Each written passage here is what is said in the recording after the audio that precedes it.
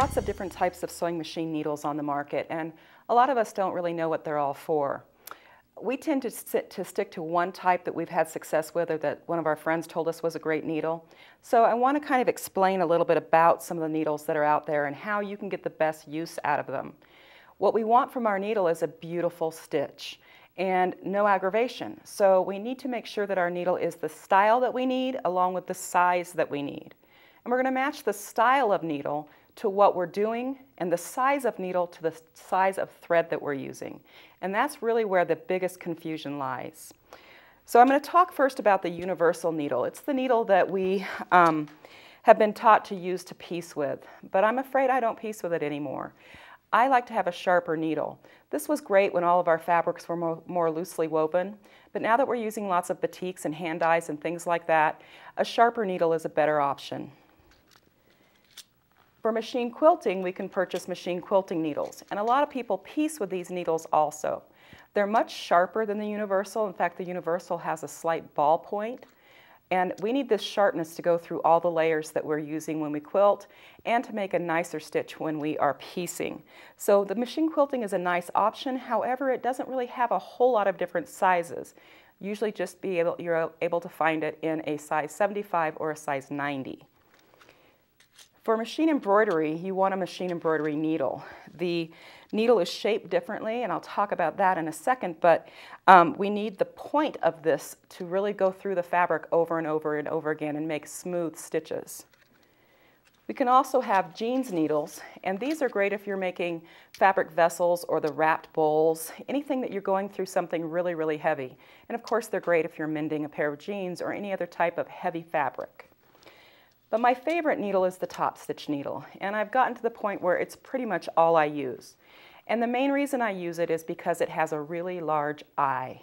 And because I do so much machine quilting, I like knowing that the thread can go through that eye many, many times and not get irritated by the eye of the needle. So let's try to understand what's important about these needles. When we look at a package of needles, we see here that this one says top stitch, and that's the style that the needle is. And then right here we have the size. It's a size 80. And a size 80 is an average size needle. It's going to fit an average size thread like a 50 weight thread. As the number on the thread weight gets higher, the thread gets smaller. But it's the opposite with the needles. When the needle's number gets smaller, the needle also gets smaller.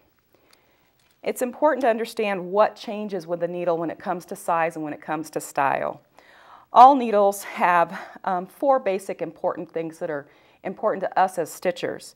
We have here um, what's called the blade, which is the long part of the needle. Then we have the eye.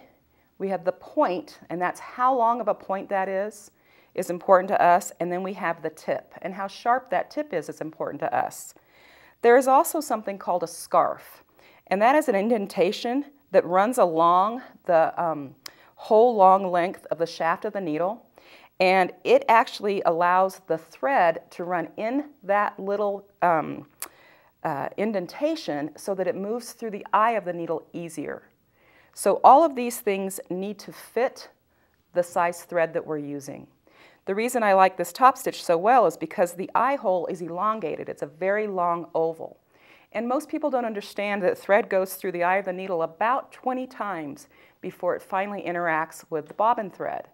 And that's a lot of wear and tear on a needle.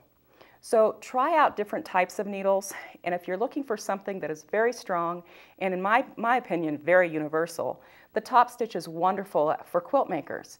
It helps you get a really nice straight stitch, and it's wonderful for going through all the layers when you're quilting. Check out some needles. I think you'll be really surprised at how much better your stitching is when you've got the right needle for the right job.